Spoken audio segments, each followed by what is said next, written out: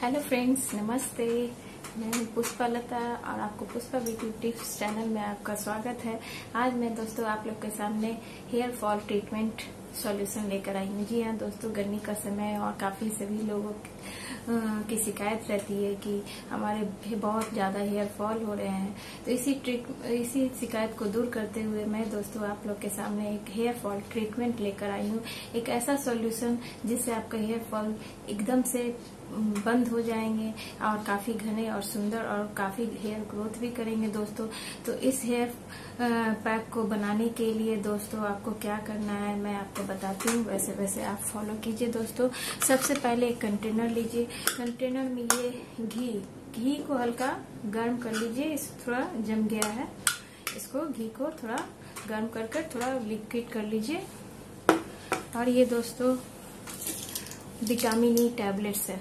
जो हमारे skin hair सभी चीज़ के, सभी के लिए काफ़ी यूजफुल है, काफ़ी अच्छे फ़ायदा करते हैं। दोस्तों, आप इसे ज़रूर लगाएँ। देखिए दोस्तों, ये जो घी है, इस घी में आपको विटामिन ई कैप्सूल चार टैबलेट इस तरह से मिक्स करना, ठीक है? इस तरह से, थोड़ा इसको गर्म कर लीजिएगा तो लिक्विड फॉर्म हो जाएगा।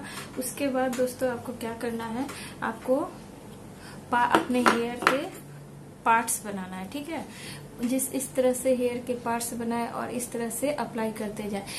आप ऊपर से शुरू करें दोस्तों रूट से शुरू करें और नीचे टिप्स तक जाएँ। जी हाँ दोस्तों टिप्स को ना छोड़ें।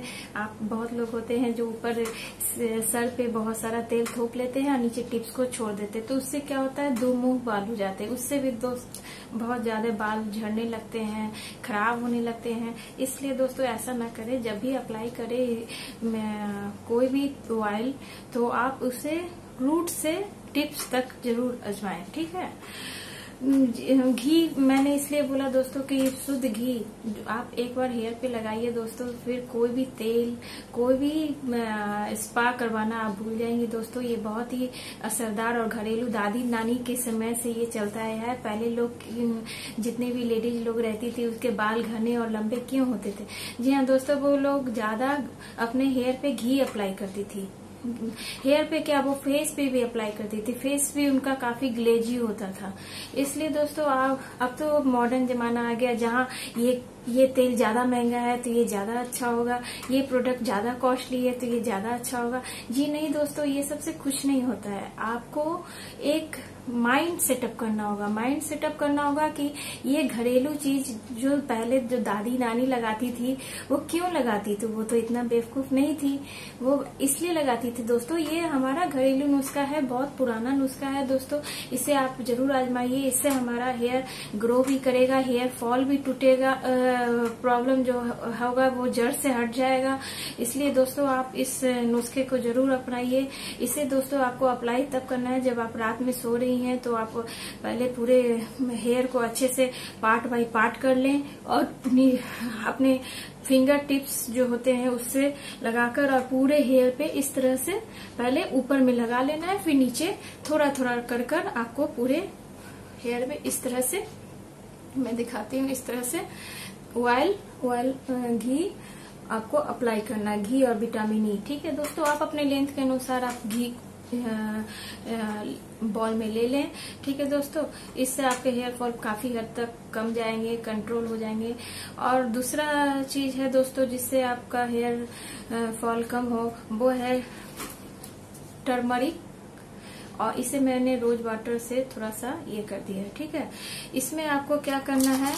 एक विटामिन ई एक से दो विटामिन ई टैबलेट्स डालना है।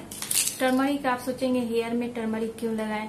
टर्मरिक दोस्तों, आपके जो हेयर में जो स्काल्प प्रॉब्लम है, आपका हेयर फॉल क्यों होता है? डैंड्रफ भी हो सकता है, गंदगी भी हो सकता है। आप हेयर रेगुलर क्लीन नहीं करती हैं, बहुत लोग शैम्पू करते हैं, अच्छे से पानी नहीं डालते हैं। तो जिससे क्या होता है, वो धीरे धीरे फंगल हो जाता है हेयर के स्काल्प में और वो आपका जड़ को कमज़ोर करके आपका हेयर फॉल करने लगता है। तो हल्दी जो होता है वो एंटीसेप्टिक होता है। एंटीसेप्टिक होने के कारण आपके स्काल्प में आप जो अप्लाई करोगे तो आपका हेयर फॉल कंट्रोल होगा। ठीक है दोस्तों, आपका जितना हेयर फॉल इन्फेक्शन ये सब जो आपके स्काल्प में है, वो सब दूर होगा। इसमें दोस्तों आप थोड़ा सा लेमन ज़रूर मिलाएँ। लेमन मिलाने से आपका हेयर का जो फॉल है वो कम जाएगा और इसमें नुपुर मेहंदी थोड़ा सा मिक्स करें। अभी मैं मिक्स नहीं कर रही हूँ। ठीक है दोस्तों, जब लगाना होगा तो करूँगी। समझे दोस्तों, आपको क्या करना है? एक बॉल लेना है। खाली कंटेनर में आपको हल्दी पाउडर डालना है, थोड़ा सा रोज वाटर डालना है, हाफ़ लेमन जूस डालना है और दो विटामिन ई का टैबलेट डालना है और मेहंदी पाउडर डालना है। उसके बाद आप दोस्त बोलेंगे कि इसको किस तरह से घोरे, उसमें घोरे किस तरह से, उसको मिक्स किस तरह से करें। तो उसके लिए दोस्तों आपको या तो नीम पत्ता लेना होगा या तो नीम पत्ता नहीं मिले तो उसके लिए आप करी पत्ता लीजिए। करी पत्ता को आप कैसे इसमें मिक्स कीजिएगा दोस्तों? इसे आप दो फॉर्म में मिक्स कर सकते हैं। या तो आप इसको मिक्सी में ग्राइंड कर दें, ठीक है? और इस मेहंदी में थोड़ा मिक्स करके आप अपने हेयर पे हेयर पैक लगाएँ। और नहीं तो आप इसको पानी में एक पतीले में पानी डालकर गैस पे चढ़ा दे और इसमें करी पत्ता या नीम पत्ता, जो भी हो, दोनों में से एक आप डालकर एक मुट्ठी और बॉयल होने दें। जब वो बॉयल हो जाए तो वो पानी पूरा ग्रीन हो जाए। जितना पानी डालें, उससे थोड़ा हाफ़ हो जाए और वो ग्रीन पानी हो जाए तो गैस को बंद करके उसे ठंडा होने दें। जब वो पानी ठंडा हो जाएगा तो उसे अच्छे से छन्नी से छानकर मेहंदी में, जो आपके हल्दी पाउडर और वाटर रोज वाटर लेमन जो आपका जो पैक बना था, उसमें मिक्स करें और उसको अच्छे से मिक्स करने के बाद आप अपने रूट रूट से टिप तक अप्लाई करें।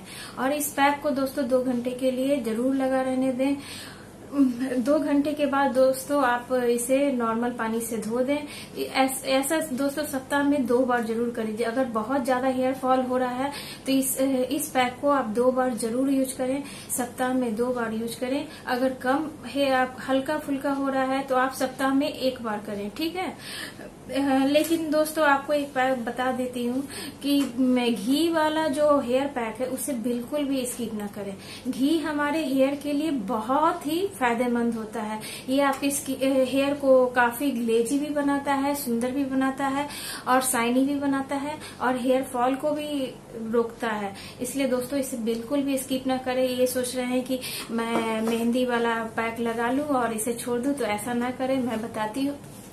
आप ऐसा करें, रात में घी और विटामिन ई टैबलेट्स लगा लें और फिर सुबह में जो अभी मेहंदी और नीम पत्ता और टर्मरिक पाउडर रोज वाटर और लेमन जूस सबको मिक्स करके शैम्पू करने से पहले, इसे दो घंटे पहले आप अप्लाई करें और फिर हेयर वॉश करें। ऐसा करने से दोस्तों आपको बहुत जल्दी हेयर फॉल की जो प्रॉब्लम है, वो दूर हो जाएगी और आपके हेयर बहुत फिर से शाइनी और हेल्दी दिखेंगे। थैंक यू दोस्तों। अगर आपको मेरा चैनल मेरा वीडियो पसंद आया तो प्लीज़ लाइक एंड सब्सक्राइब ज़रूर कीजिएगा। अगर आपको ब्यूटी से रिलेटेड हेयर से रिलेटेड स्किन प्रॉब्लम से रिलेटेड कोई भी प्रॉब्लम हो दोस्तों तो कॉमेंट सेक्शन में जाकर आप अपना क्वेश्चन मुझसे पूछ सकते हैं। मैं आपको नेक्स्ट वीडियो आपको उसी पे बताऊँगी। जी थैंक यू दोस्तों। आप हमारे चैनल को लाइक कीजिए सब्सक्राइब कीजिए और बेल आइकन को